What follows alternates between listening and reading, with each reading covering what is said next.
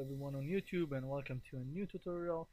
And this time I chose to continue my last uh, tutorial on uh, how to animate uh, a scene and how to render batch rendering the pictures. But this time I uh, as I told you in uh, that lesson um, I want to teach you how to uh, record the how to animate your camera okay?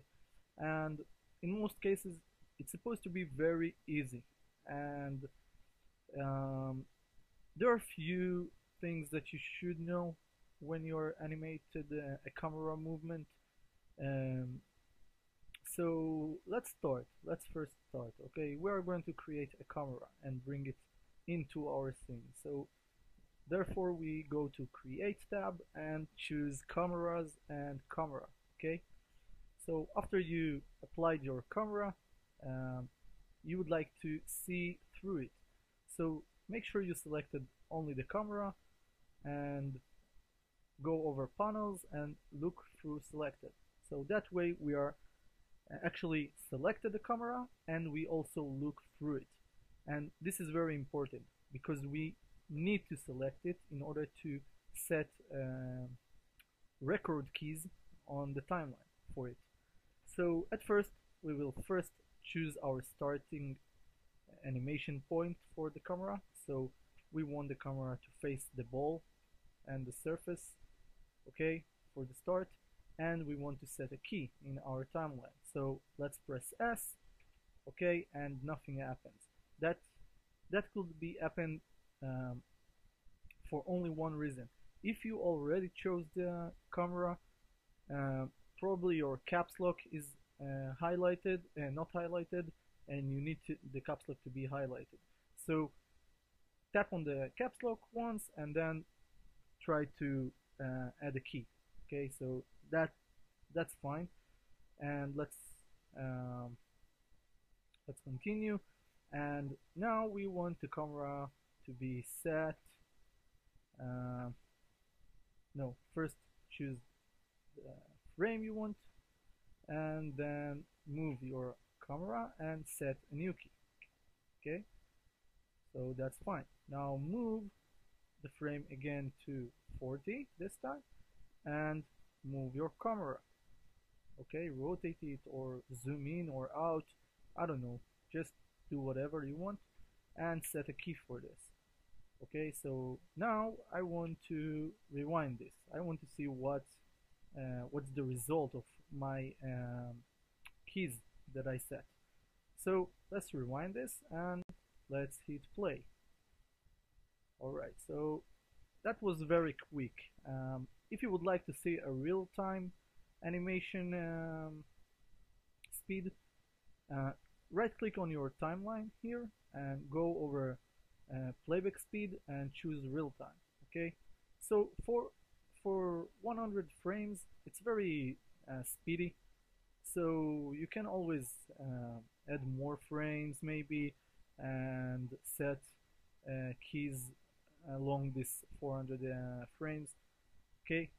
And now whenever I move the camera while I didn't set any key um, okay so if you would like to see the last key you want just tap on one of the frames after the, the last key okay? So that way the camera will show you where where it's the where is the position for it right now okay? So this is it. What you see it's what you get. Now choose 60 and then um, move the camera to the other side okay? Like so. And tap on the S now sometimes when you are doing a really huge um, huge uh, movement like so okay and tap on S Maya doesn't really know how to translate it. So therefore you will get something stupid like this okay? It's like uh, rotating in 100 and 360 degrees in this period of time between those two keys that you set okay?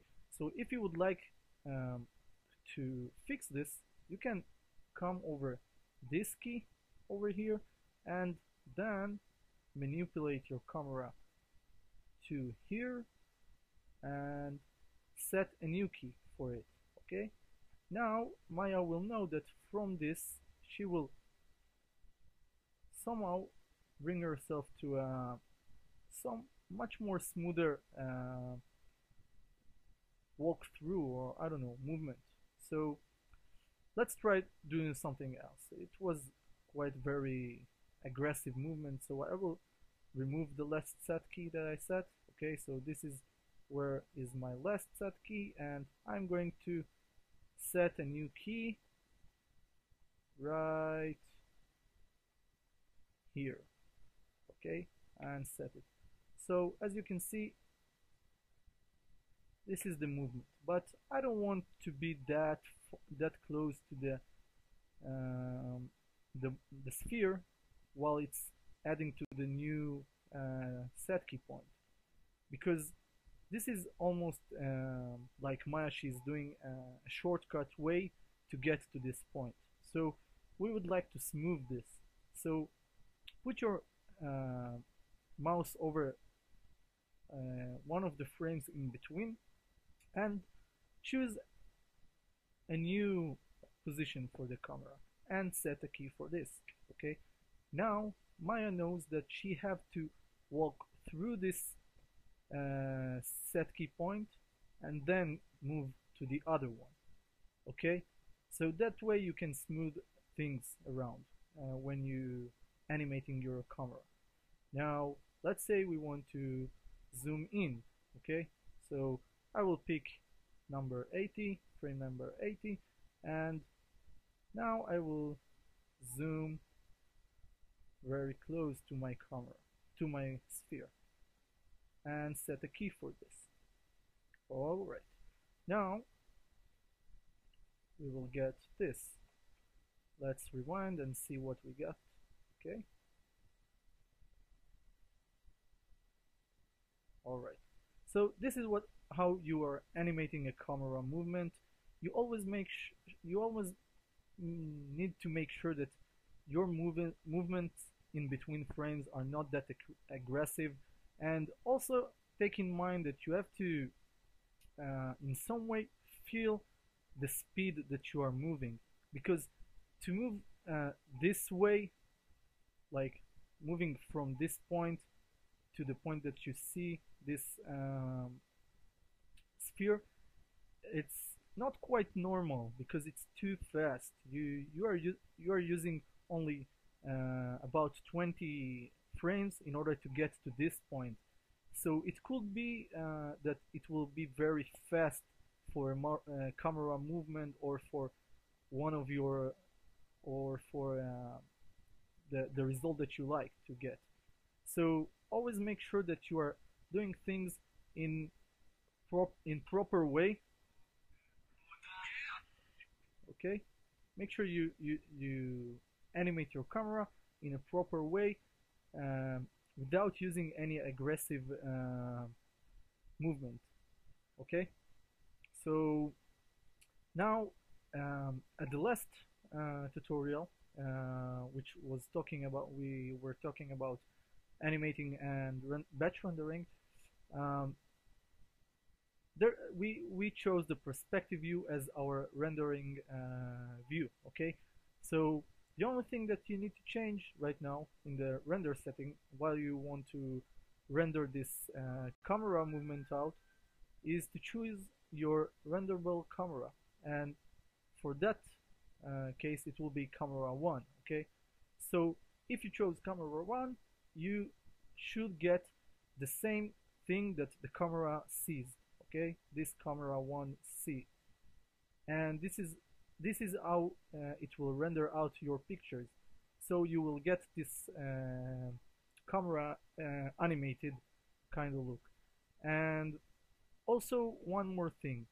When you shoot scene and you want to animate camera always make sure that you see the camera one appears here in green okay? That way you can be sure that you are seeing through the camera or, or and you don't see through any other selected objects but because you can make mistakes. You can look uh, from this object. Let's say we want to see through it. So you see this is what we, we get when we look through uh, this sphere. And you can choose other uh, other views like perspective from the perspective view you can choose the camera again again but you may you may unselected the camera also. So you can't animate it right now. You have to choose it.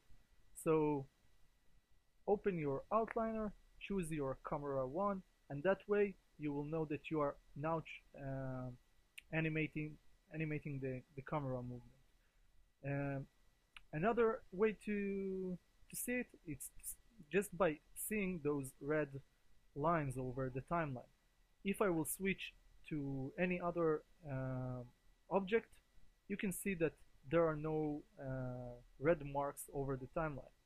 That's because those uh, objects, uh, we didn't animate them, okay? We did animate the, the sphere, so therefore you will see um, the keys for this, uh, the movement of the sphere, okay? But also we can see it for the camera. So they are different you can see okay? There are different keys for each of those. Alright? This is for the sphere and this is for the camera. We it's it's almost the same but uh, except this one and maybe this one that are not the same uh, the same frame okay? Now uh, I think that that that's for it for this uh, tutorial.